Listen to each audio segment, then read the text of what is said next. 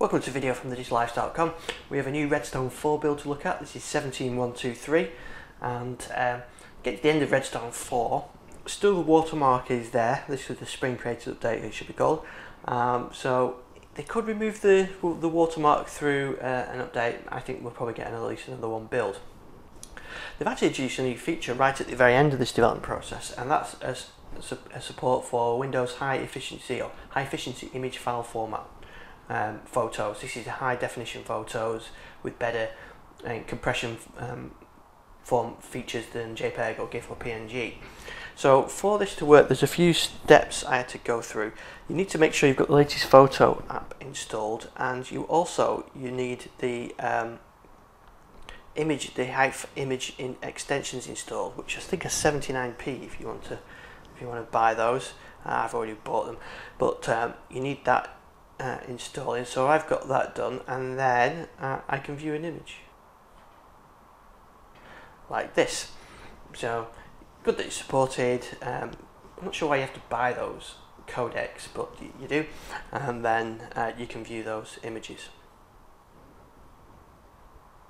Other than that the changes they've good news for Windows Mixed Reality users. They fixed the ambient sound in Skyloft They've uh, fixed launching store from movies and TV app so it shouldn't crash and they fixed 360 videos rendering in Microsoft Edge. There are a couple of known issues still though. They've got um, performance issues with uh, hybrid laptops. In some cases the inbox uh, apps may fail to load and holograms may be empty and you've got to restart Windows uh, Mixed Reality for that to work and there may be a long delay when switching between the Skyloft and the Cliff House. So still some issues there, but they're getting through those. I guess they're just trying to get those fixed before general release. Okay, other changes in this release. They fixed the issue with Dolby Access app. They fixed uh, kernel error.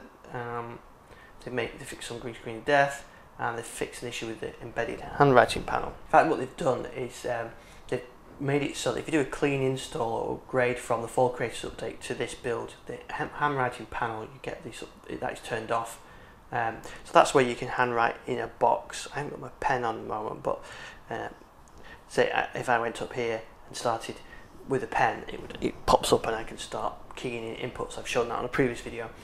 Um, that won't be on unless you're an insider been testing these versions of it for so I guess that'll go into Redstone 5 only one known issue if you've linked your PC um, for notifications with this with previous builds that's um, they've been disconnected so you've got to go and relink your phone